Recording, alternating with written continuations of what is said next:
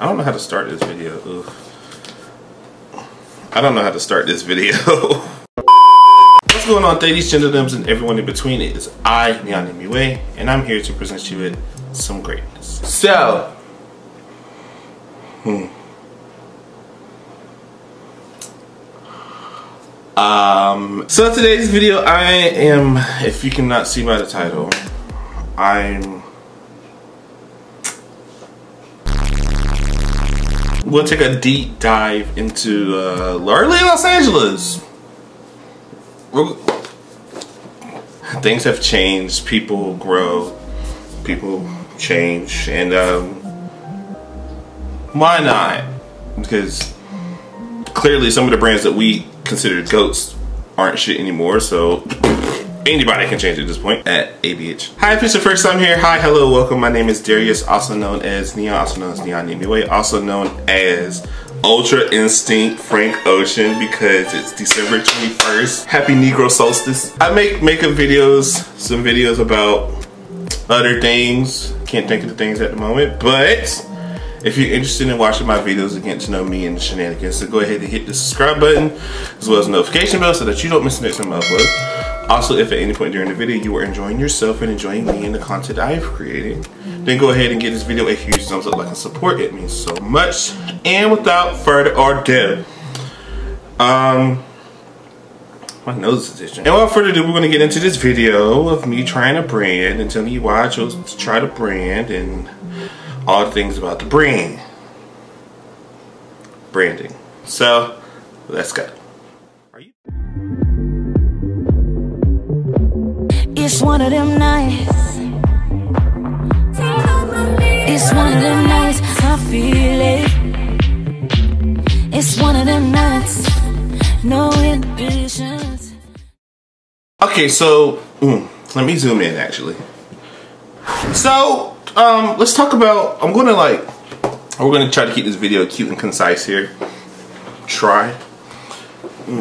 So, if you guys don't know, Laura Lee is on Los Angeles is brand by Laura Lee, obviously. Influencer brand, so you know there's that. If you guys know Laura's aesthetic, it's very much like nude California white woman. Hey, it is what it is. But they've got like a nice handful of stuff. Eyeshadow palettes, highlighters, um, lip products. So the brand is like pretty much like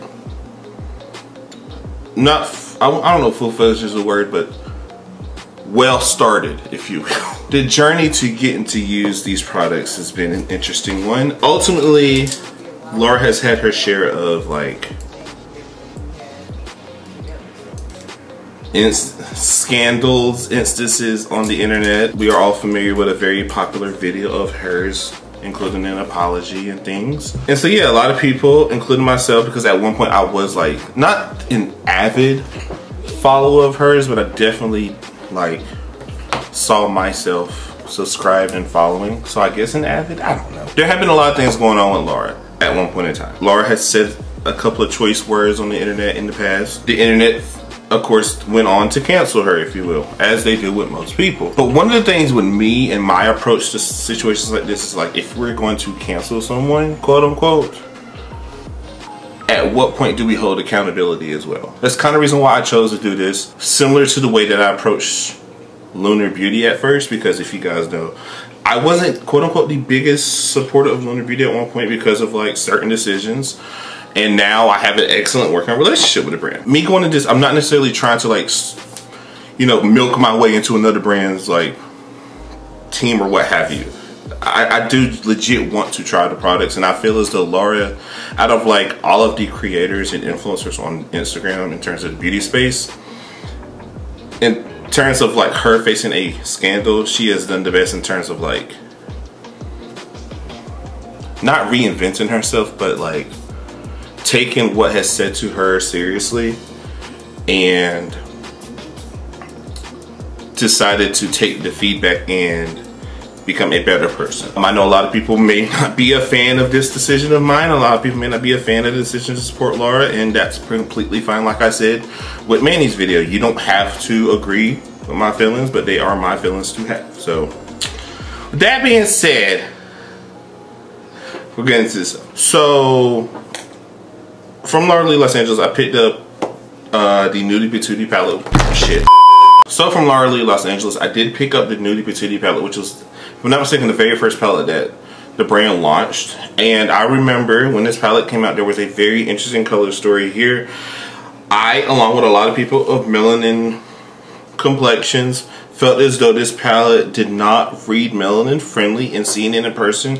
I still have my reservations. When I review brands like this, I'm not going into it thinking that, oh, every product is going to be great.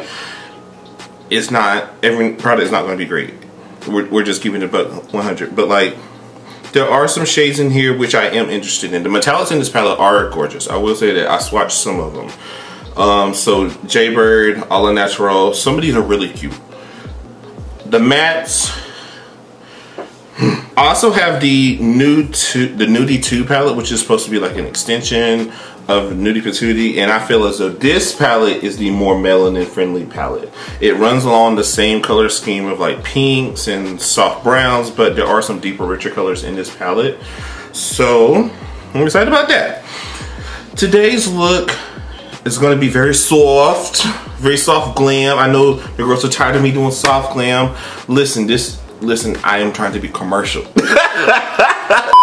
I'm like, I don't know why, but I felt like playing with soft glam looks all year long. 2021, I have avant-garde shit planned, so we don't have to worry about that. But for now, um, I have this idea of playing with like a soft pinky plum look.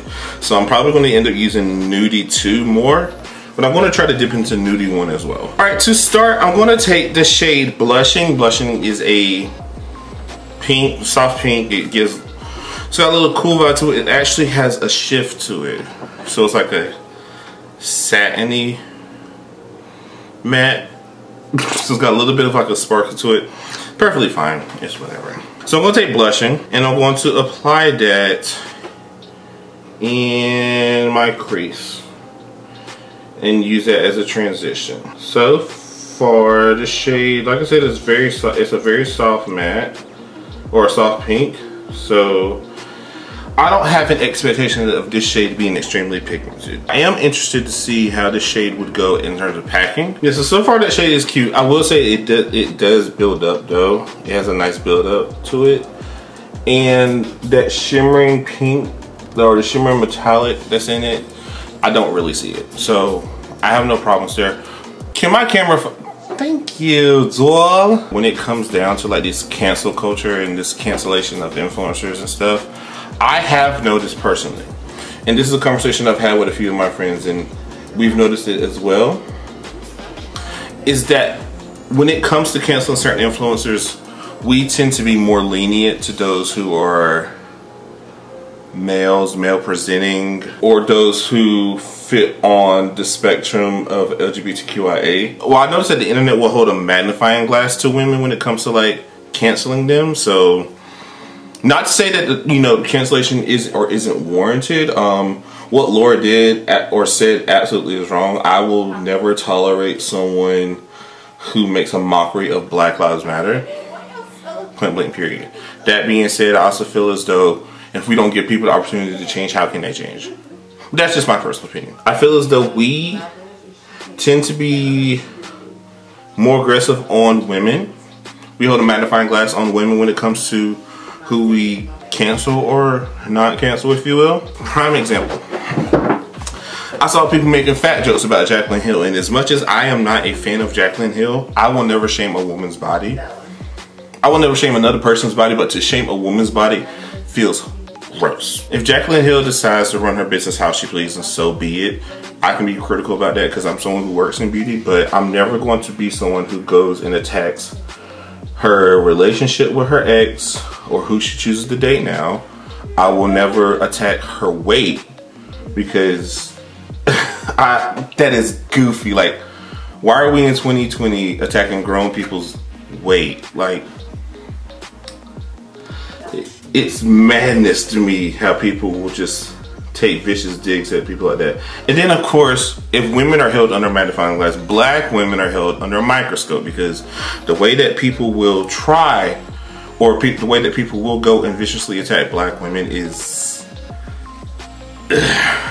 when it came down to like the quote unquote cancellation of like Laura Lee, of course, I felt some kind of way about it because as a black man living in America, the comments of Black Lives Matter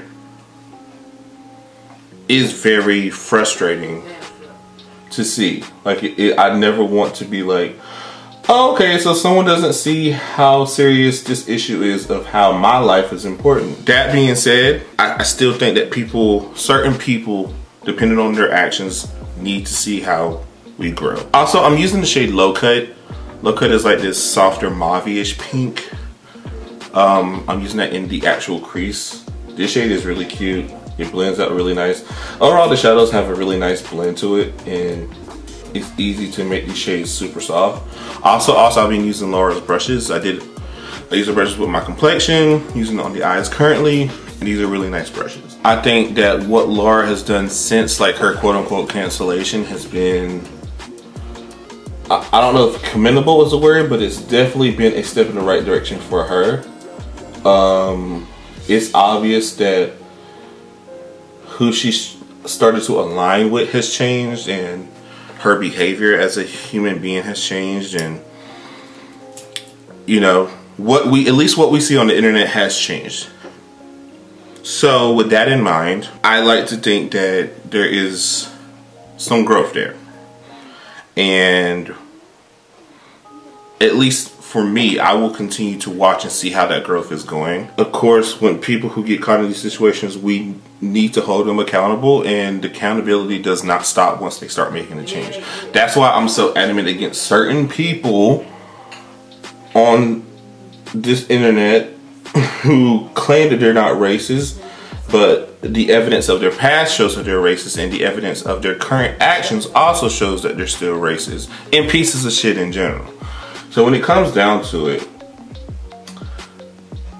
I'm willing to be more forgiving and accepting of someone who is at least making a change with their behavior versus someone who continues to use their clout and their privilege and their persona to just be an ignorant person like. So I took the shade Risque, Risque, Risque, Risque, which is the deeper plum really deep plum, really nice rich color. Um, and it is very blendable. I don't have a problem with Nudie Volume 2. Like I said, I feel like Nudie Volume 2 is the more melanin friendly palette. And out of the two palettes, I do see myself reaching for this one more. I do want to dip into the Nudie 1 palette, or Nudie Patootie 1. But this palette runs more on the browner side and my eye look is more pink. So I'm not sure. Oh, wait, I take it back. I do want to use Jailbird. Jaybird, not Jailbird, Jesus Christ. Jaybird is this duochrome. It's like orange into, we're using this shade, absolutely. yeah, we're using that shade. That has to be used on the eye at some point. I'm gonna go back in with eye primer and just like carve out a space of lid. I'm not doing like a cut crease per se, but I just want to make sure there is lid space there for what I'm about to do. I'm going to go into the Nudie Patootie palette. I'm going to take the shade Jaybird, which is that duochrome metallic, which is so pretty in pan and I'm going to apply that on the lid. This shade reminds me of something that like Natasha Denona might do.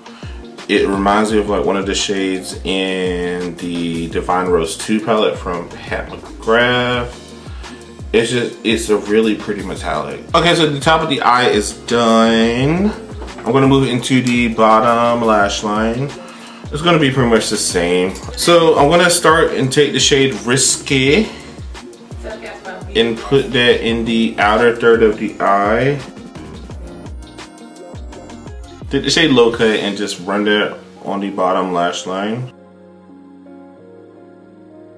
Alright, to finish up the shadow work of this eye, I'm just going to go into the Nudie Palette one more time and take the shade Cheeky. And Cheeky is a taupey pink, silverish, goldish, I'm gonna apply that in the inner third of the eye. So there's like some other eye work that I want to do, but for now I'm done with the eyeshadow, so I'm gonna go finish up the eye work real quick, and then we're gonna come back and we'll finish up the lips and the rest of the face. But um, I have feelings on these palettes, so we'll be back. So I am back. The eyes are done except for lashes, but I always do lashes last, so it's fine. I'm gonna move into the highlighters. Um, there are two highlighter palettes. We have a glazed lit kit, which consists more of like taupey and pink shades. And then we have the bronze lit kit, which consists more of bronze and gold shades. Um, obviously this look consists a lot of pink. So it would be smart to go with pink shades. But I just want to show these palettes. This gold rush shade right here, I swatch is done. So what I'm gonna do is actually dip into the glaze kit and we're gonna take the shade Cinnamon Sugar. Cinnamon Sugar it looks to be of a a brown sugar type of shade. If you hear snore, that's my sister. She's got her door wide open and snores hella loud, but whatever. And this highlighter is cute cute highlight. Like it reminds me of like, it kind of reminds me of how Manny's powders or highlighters are. Um, where they just look hella blinding and buttery.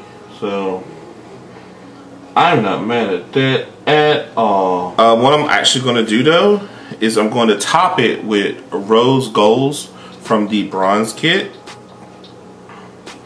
just to give it a little bit of a pink flush to it. That is a really pretty Wow, whoa. Alright, so I'm just gonna finish up with the lips. I do have one of the liquid lipsticks.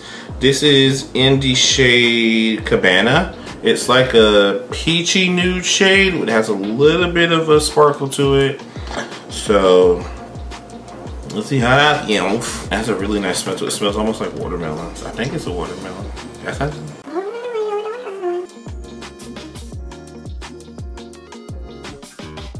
kind of wish I had a more pinky shade to put on, but this is the shade I got from her, from the brand.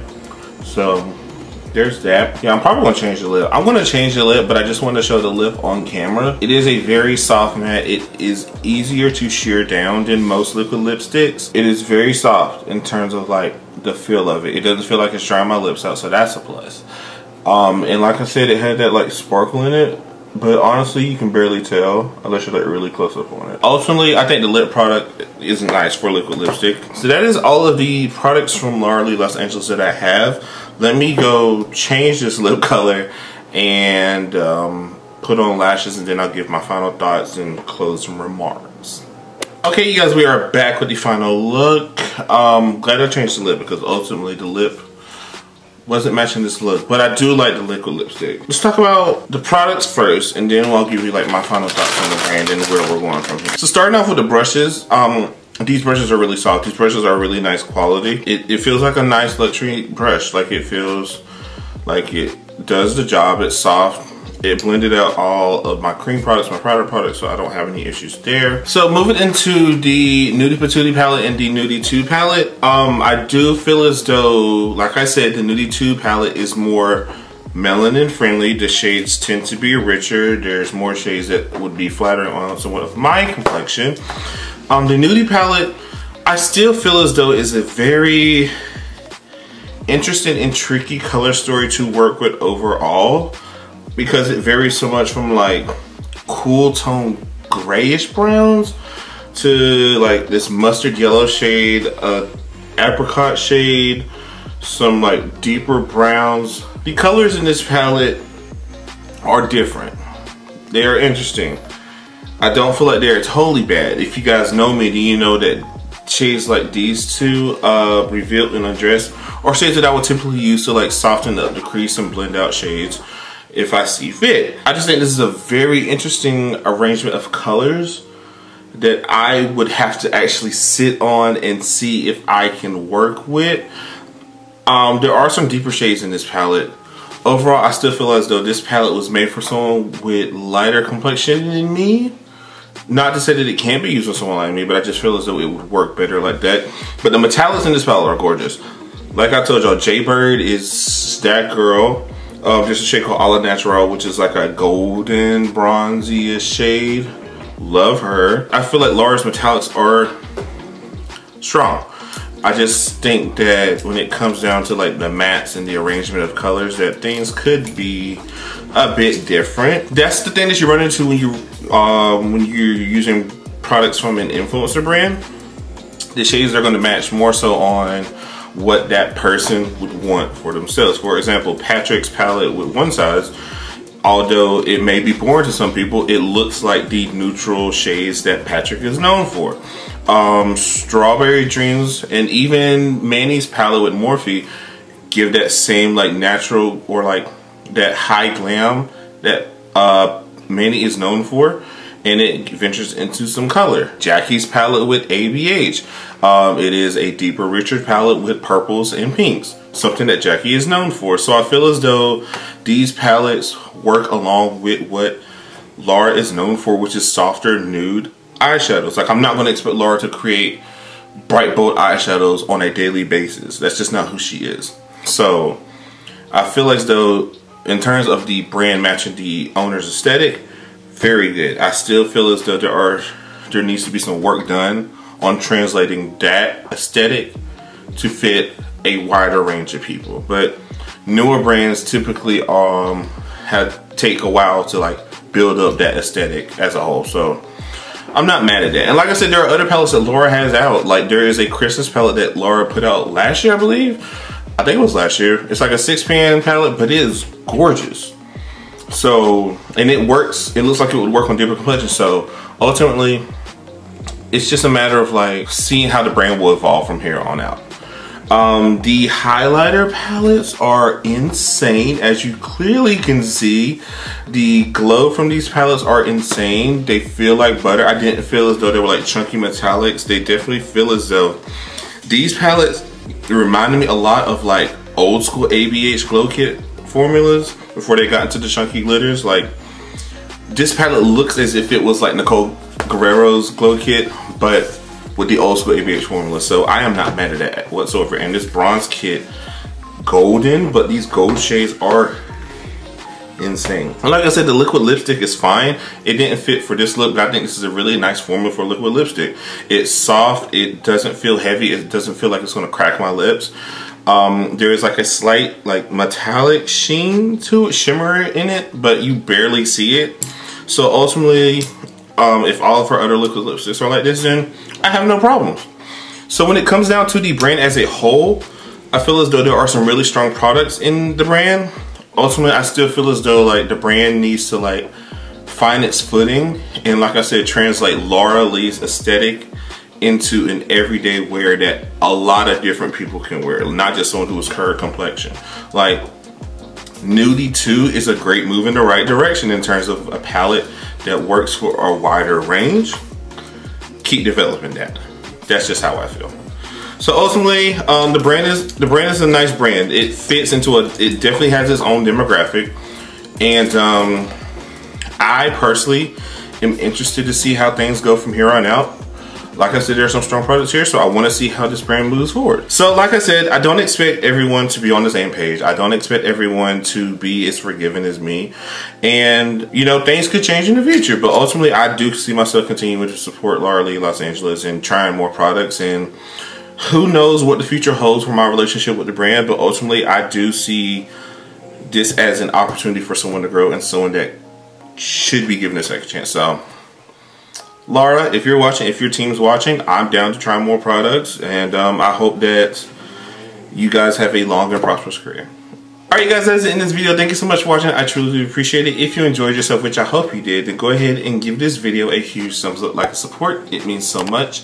Also, if you want to continue seeing my face on your YouTube feed, then go ahead and subscribe to the channel and hit the notification bell as well so that you don't miss the next time I upload. We're going to get black as fuck on my channel, so there's going to be one video in particular that y'all definitely need to watch. And so subscribe for that. Thank you. I appreciate it. Also, make sure you guys follow me on all my social media accounts as well. That is Neon MUA on Instagram, Twitter, Snapchat, and TikTok. Love to have you guys be a part of the Fireflies family and um, join in on shenanigans and hear me rah rah and watch me and other black people get our superpowers.